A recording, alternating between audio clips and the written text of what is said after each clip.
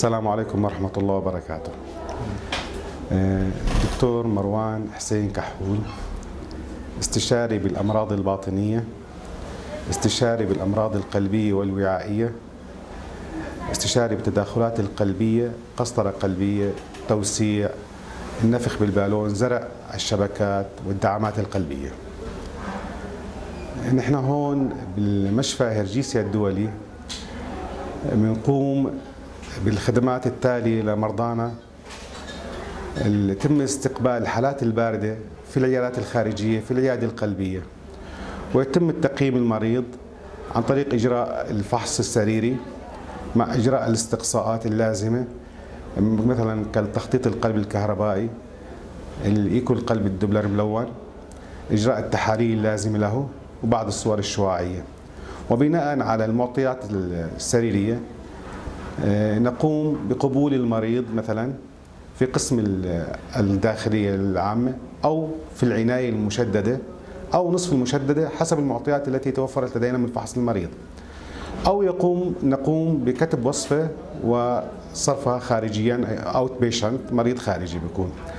وفي الحالات الإسعافية يتم قبول المريض عن طريق قسم الطوارئ حيث يتم التقييم المبدئي للمريض هناك وحسب حالته السريرية يتم القبول في أقسام المشفى المختلفة وإجراءات اللازم له وفي حال كان المريض بحاجة لإجراء قسطرة قلبية إسعافية مثلا فعندنا هنا يوجد لدينا جهاز قسطرة متوفر 24 ساعة على 24 ساعة سبعة أيام في الأسبوع.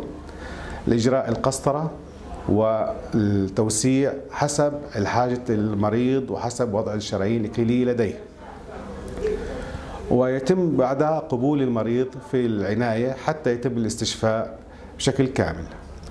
الحالات التي نقوم فيها هنا في المشفى هرجيسيا كعيادة قلبية قبول الحالات الإكليلية الوعائية الحادة acute coronary syndrome من احتشاء عضلة قلبية acute MI أو unstable angina ويتم تقييم المريض وقبوله في قسم العناية وإجراء القسطرة لاحقا إن لزم الأمر. قصورات العضلة القلبية ال heart failure اضطرابات نظم القلبية كالرجفان الأذيني ال atrial fibrillation وغيرها أمراض القلبية الخلقية الولادية كالفتحات آه، كاضطرابات تبدل وضع الشرايين وغيرها. الأمراض القلبية لدى الحوامل.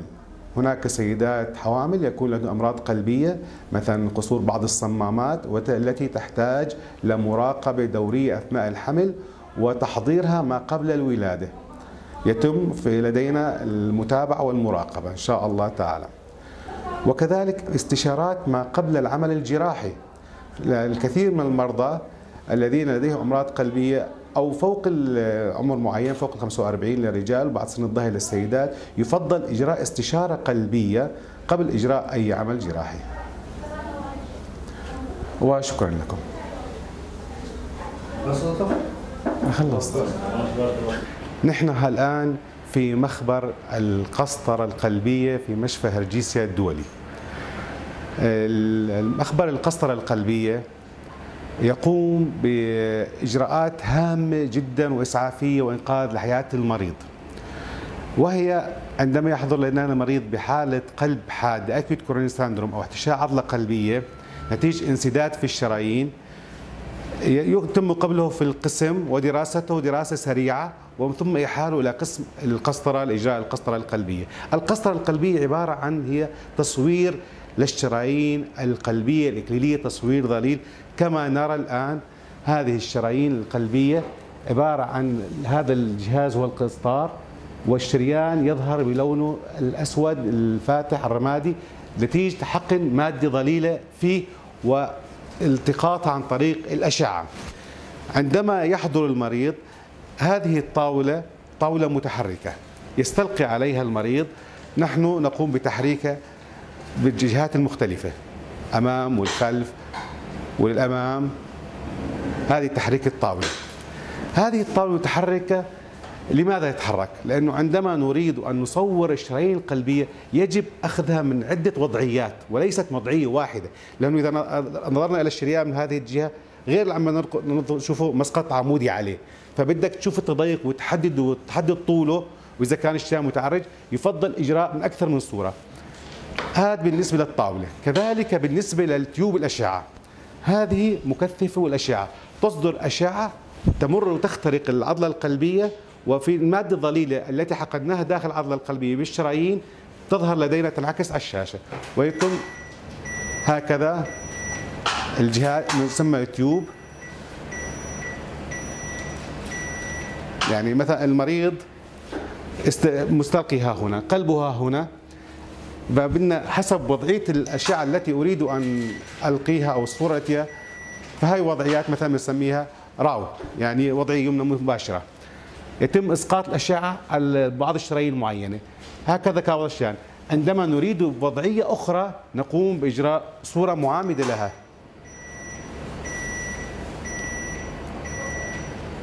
متعددة إذا انتبهنا نهاياتها مختلفة حسب الشريان الذي يراد.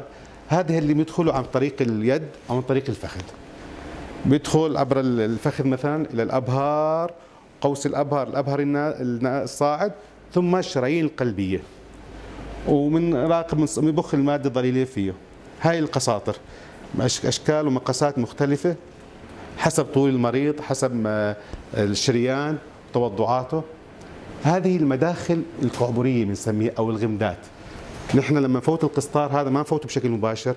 نحن أول شيء شو القسطرة؟ آه جبنا إبرة وفوتنا الإبرة وبعدين بنفوت سلك بنسحب الإبرة. بعدين بنجيب الموسع قسطار بنفوته لجوا هيك طوله تقريبا حوالي 15 هيك حسب الطول اللي بدنا إياه. بعدين من القسطار يتم إدخاله عن طريق الغمد أو الشيت.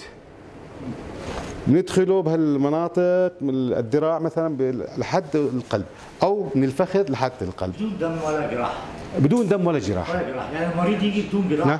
في عندنا صوره للشرح إيه إذا في صورة للشرب بكون أفضل. يعني المريض ما يحتاج جراحه ولا لا المدخل الفخذي وهو قديما يعني سابقا كان يستخدم مدخل فخذي حيث ندخل الشيت من هنا أو الغمد ومن ثم ندخل القسطار. القسطار بمر حبر الشرايين الأبهار حتى الابهر الصاع الابهر النازل. قوس الابهر ابهر الصاعد. من هنا منشا الشرايين الاكليليه من بداية الابهر انطلاقه من القلب منشا الشرايين الاكليليه القسطار نهايته بتكون معكوفة. حسب يعني الشريان المراد. فعندما وصل عند نبلغ نهاية الابهر نقوم بفتل القسطار حتى يتم الأنججة أو الدخول إلى الشريان الاكليل الأيمن هذا أو الاكليل الأيسر. وبعدها نقوم ببخ بضخ المادة الضليلة أو الطريقة الحديثه عن طريق الشرايين الشريان الكعبري من هنا ندخل القسطار. ندخل القسطار هكذا وبيضلوا متجهين بالشريان العضدي تحت ترقوة حتى نوصل للشريان كمان الأبهري وندخل. أيضا مدخل كعبري ومدخل فخذي. بدون جراحة وبدون دم. بدون عبارة عن تخدير موضعي. فقط. فقط جدا لا لا نستخدم الجراحة. ولا جراحة في القلب. ولا جراحة. حاليا نتم إجراء تصوير الشرايين الكلوية كمان عن طريق إجراء القسطرة أو تصوير الشرايين بالاطراف عن طريق القسطرة. لأنه هاي كلياتها كمان نفس الشيء نفس المبدأ. هلأ حاليا في كمان القسطرة للأوعية الدماغية. إذا تم ذات الخثرة من الشرايين الدماغية خلال ثلاث ساعات يعود لوظائفه الطبيعية الجلطات الدماغية. نفس مبدأ القسطرة القلبية بس نفوت من السباتي على الدماغ. يمكن أيضا معالجة الجلطات الدماغيه ممكن معالجتها ممكن معالجتها بالقسطرة وممكن معالجات حتى أمهات الدم. هذول أمهات الدم عبارة توسعات وعي دماغية قد تؤدي إلى تمزقات في المستقبل فهنا يتم في وشائع خاصة تختيرها إذا كيف معالجة الجلطة الدماغية؟ الجلطة الدماغية إذا لحقناها خلال تسبب الشلل تسبب الشلل إذا خلال ثلاث ساعات من الإصابة قبل ما تعملي تموت في الخلايا العصبية؟ بيعيش مريضنا. كيف يعرف المريض انه اصيب بثلاث ما هو هلا في بعض الدول العالمية في مراكز متقدمة يعني إنه مثلا عندك الشعر القلبي مثلا مثل هيك إنه كل 32 كيلو متر تخيل في بعض الدول في جهاز قسطرة. آه. بحيث إنه مريضك ما تأخر عليه. آه. طبعا نحن هاي بالادويه المتقدمة يعني انا إحنا هون الحمد لله بنقدر نقدم هالأمور بس يعني لحقنا المريض. هي بس يبلش المريض يحس بالخذل والاطراف هي بلشت مشكلة عصبية عنده طبعا إحنا اخصائي العصبية واخصائي التداخلات الشعاعية. بس بحكي لك شو بصير بالجهاز القسطرة هذه. يعني في شغلات كثير بس تصوير الشرايين الكليليه الكلوية مثلا مريض الشاب عنده تضيق عنده فرط توتر شرياني شاب صغير. قد تكون عنده مشاكل بالشرايين الك- الكلوية يعني. مشاكل على الأوعية. العرج المتقطع بعض الناس لما تمشي شوي بعدين بصير قد تكون مشاكل وعائية طرفية. تحتاج بالقسطرة من بالتصوير الضرير للشرايين وقد تحتاج توسيع أو عمل جراحي حسب. هاي عبارة عن الوعاء الدموي. هون بكون الدم بيجري. هون بصير تراكم الكوليسترول ال plaque العصيدة. لما تتراكم الشحوم الثلاثية والكوليسترول تتسمك. فبتسمك الجدار وبالتالي بتضيق المجرى تبعه. عندما يتضيق هون بتمر الصفيحات نتيجة تمزق في العصيدة بتشكل خثرة عليها فبتسكر جريان الدم. شايف إحنا شايف شلون؟ هاي الشريان الكليلي.